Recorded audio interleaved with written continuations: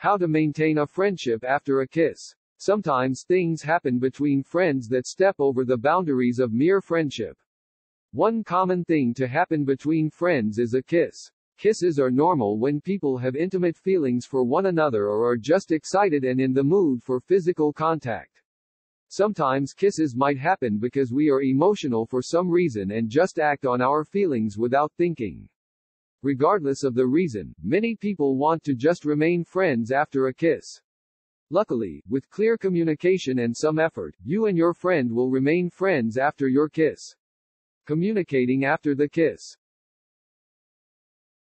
Take a break if you feel you need one. For many people, it might be helpful to put a little distance between them and the friend they kissed. Putting a little distance between you might give you the strength and the perspective needed to continue the friendship. Take a break for a month or so if you think you need a cool down period. If you want to take a break, make sure you let your friend know about it. You don't want to just disappear, that might hurt your friendship. Try saying something like, I feel pretty confused after we kissed, and I need a little time. I still want to be your friend, but it would be good for me if we took a break for the next month. If you want to continue seeing your friend, try to avoid spending one on one time with them. Consider avoiding certain activities with your friend for a while, such as drinking or any other activities in which both of your inhibitions might be lowered. Talk about it. The first thing you should do after the kiss is talk about it.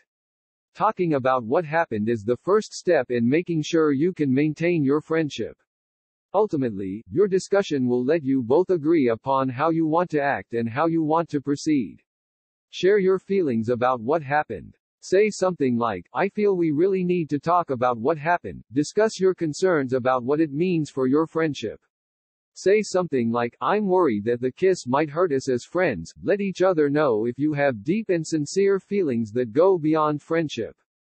If either of you do, it is best to know how the other feels. This way you'll both move forward as friends with full knowledge of how the other person feels. Come to an agreement. After you've talked about the kiss, you should both come to an agreement about how you want to handle it and move forward. Coming to an agreement will enable you both to know how you should both act. In your agreement, you should both try to come to an understanding about how you want to move forward as friends. Try to agree upon how you'll handle the kiss in terms of telling other friends. Try to agree upon how you'll want to maintain the relationship going forward. Try to establish some boundaries, like no more kisses or less physical contact.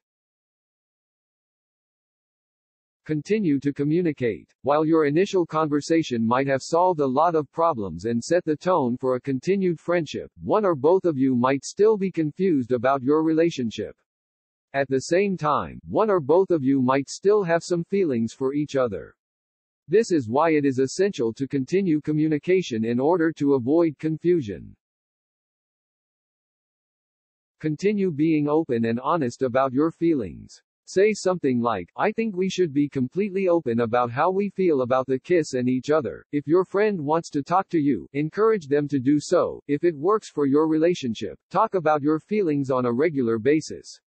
This could be weekly, or it could be more frequent.